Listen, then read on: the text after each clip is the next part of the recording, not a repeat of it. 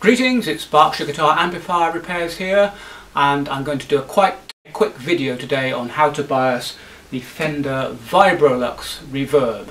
This has come in from a client who's had a go at biasing it himself and he says the bias pot is out of range. So I think that'll be quite interesting for us because it's all very well just sticking your bias probe on and twiddling the pot and getting the bias right but quite often the pot is out of range and it needs the adjustment of a fixed resistor. So the first thing I'm going to do is turn the amp around, get some bias probes on and power it up and see what the bias is looking like from my point of view and then we can take it from there. Okay, I've got a couple of bias meters on the output valves here, 6L6 GCs and they're running at about 400 volts so the correct bias current is about 50 milliamps on this. I'll put up a handy link to a bias calculator for you.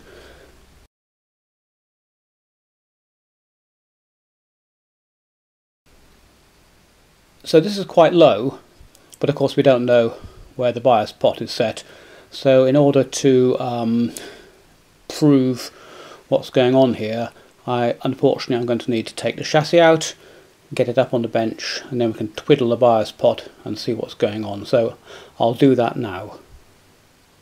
You probably don't need me to tell you this but in order to get the chassis out you have to disconnect these plugs and sockets. I always make a note of where they came from. Take out the speaker lead which is this one here and then also undo this cable tie here. I always put the screw back in the hole. Now I can take the chassis out by undoing these and these. Okay, let's have a look under this amp here. A quick scan along. I'm noticing a few things here. I don't know if you are. We'll just do a scan first of all and I'll come back to it. Okay, now the first thing I notice is that all of these electrolytics here are originals and they are well past their uh, replace by date. So I'm going to recommend to the customer that all of these 25 microfarad 50 volts are changed. We also have an 80 microfarad 75 volt cap here well past its expiry date and that is providing the negative bias. It'll be working but it's well overdue. Here's the bias pot here so I'm going to have a little look to see which resistor we change. It's probably probably this one here. But I'll, I'll worry about that when I've done some other changes. Let's have another look along here. Um, hmm, all, all original resistors here most of them. That's been changed. That's a new one. There's a tremolo cell. I'll see if that's working. They tend to go faulty as well and you get a weak tremolo all of these blue ones are original, but they tend to be okay. I try not to change those. They are normally not leaky. It all looks fairly good. I think someone's changed a few resistors. These look non-original here. These ones, those are all original, these carbon ones.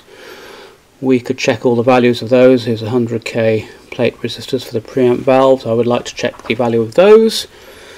Um, so all in all, this is coming for a bias job, but I need to get in contact with the client and say, look, you may need to think about spending some money on the amp. We'll see what he says. But the next thing I'm going to do is to flip this over and take the lid off the electrolytic capacitors and see if they are original. If they are, they will definitely need changing. Here we are, top side of the amp, and good news, someone has been in here and changed all of the electrolytics, so that's good, that's a job that doesn't need doing. 22 microfarads at 450 volts, that's all good. Happy with that. Um, I suppose we could have a quick look at the state of the valves. What have we got here? I bet it's a motley selection. No, there's a couple of TADs there. They should be okay. What have we got here? Electro-Harmonix. um,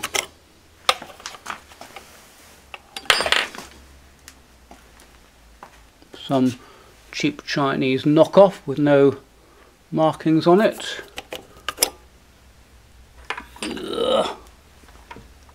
A G-Sol, never heard of that. G-Sol. And the final one, oh we've got a JJ, so we do have a motley selection of valves here. I guess I'll ask him if he wants new valves whilst we're at it. Right, I've got to phone the customer now and see what he says. See how much money he wants to spend. I will revert and let you know what he says. Okay, I've just got off the phone with the customer and he does want me to go ahead and change these 25 microfarad 25 volt capacitors and also this one here for the bias circuit and he also wants a new pair of 6L6 GCs so I'm going to do all that. Now this is going to be a bias video really that's turning into a bit of a revamp. So I think what I'll do since you're probably watching this to know how to bias the amp, I'm just going to change all these and then show you that they're done. And, uh, and then we can just go ahead and bias the amp and you can see how to do that. So it's basically a question of adjusting this pot obviously and if it's out of range we're going to start fiddling around with some fixed resistors. Okay so I'm going to plough ahead now and change these electrolytic capacitors and I'll show you what I've done when I've finished. Okay, I've replaced those capacitors now. One, two, three, four, five, 25 microfarads at 25 volts. I think that's it, yep, and I've also replaced the 100 microfarads at uh, 100 volts in this particular case for the bias. So what I'm going to do now is flip this the other way up and pop a couple of new 6L6s in with some bias meters and just see how this bias is now. Then we can see what we need to do about adjusting the bias if we need to. This is way out of tolerance, this pot. Not quite sure why. There's way too much negative bias voltage. So what I'm just going to do now is to investigate what happens when I mess around with this resistor and I will uh, let you know what happens. My guess is, no I won't guess, I'll just um, have a little play then I'll report back to you. Okay, back again. I'm not sure whether that's standard or not without looking at the schematic and reducing the value of that resistor reduces the negative bias voltage and increases the current. So if you want more current reduce the value of that resistor. If you want less current, increase the value of that resistor. I'm just going to set the pot roughly mid-range, don't need to be too clever. We're looking for about 45 milliamps bias current and as you can see I've got a couple of croc clips over that resistor and they come back to my resistance decade box. Very useful thing, allows you to dial in different values of resistor. I've got just randomly 480k there at the moment, I don't know why. Here is the current, which is quite low. Now, as I reduce the value of this resistor, let's make it 280k or 180k. Let's go for 80k. It hasn't come up very much, but let's see what happens. I'm just going to stick my screwdriver in the pot here and see if I can get a more sensible current. I'm turning it clockwise. See that current is coming up to about 28 milliamps now. So we want a bit more than that. I'm going to leave the pot on max for the moment. And let's see what we've got. 70k, 6, uh, 60k, 50k, 40k, 30k. Needs. Ooh, that went up quite severely. That's okay. Let's put that on. So I've got 20. Let's make it 22k. That's a standard value 22k I've got 52 and 46 milliamps now sorry a bit of glare on the meters there and now I can back that off with the pot and bring it down I want I think I'm going to go for about 45 as you can see there's a few milliamps difference between those tubes that's perfectly acceptable you don't need to worry about that so uh, yeah I'm going to set that about 40 and 44 or something on there, that'll be fine. That's good, and the pot's got a fair bit of range. I can turn it up full, and it goes up to over 50 milliamps. I can turn it down, and it comes to 40.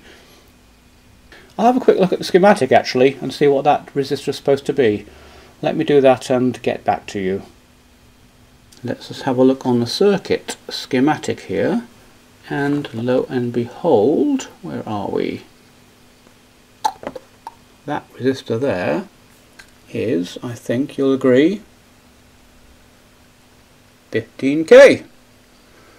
Anyway, 15k is the correct resistor, so I'm just going to solder a 22k across that existing one. That's the easiest way out of this.